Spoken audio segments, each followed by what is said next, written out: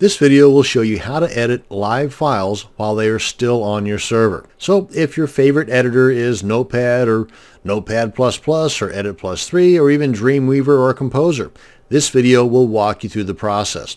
So let's go ahead and open up FileZilla and get started. First off, we want to head on over to our settings menu. We do that by coming up over to the edit option in our menu bar. Go to settings.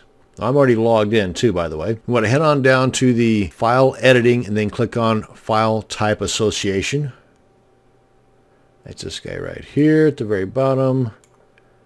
And if it's collapsed, then you just want to expand it and then click on File Type Associations. And as you can see here, I've already associated this one with my notepad, but I'm going to change that to Edit Plus 3. And as you can see, as it explains down here, what you want to do is you want to put out the extension of the file type you're going to want to edit with this particular program. In this example, for my PHP files, I currently have it set up to be editing the PHP files with Notepad. I want that to be with the Edit Plus 3.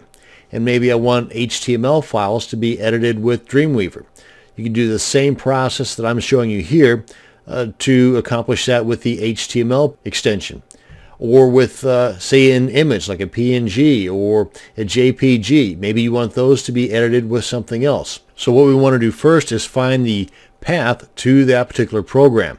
And again, in this case, I'm looking for the path for my Edit Plus 3. And to find the path to that program, you go over to your Start button in the lower left corner of your monitor and you click on that and in the search box and of course this varies depending upon the operating system you're working with but the search box on my Windows 7 is just above the start bar at the very bottom of the box and in there where it says search programs and files type in the name of the program you're looking for. In my example it's edit plus 3. Then when you see the program showing up in the list, you right click on it and then click on properties. Then you, you want to make sure you're in the shortcut area of the properties and you're looking for the target.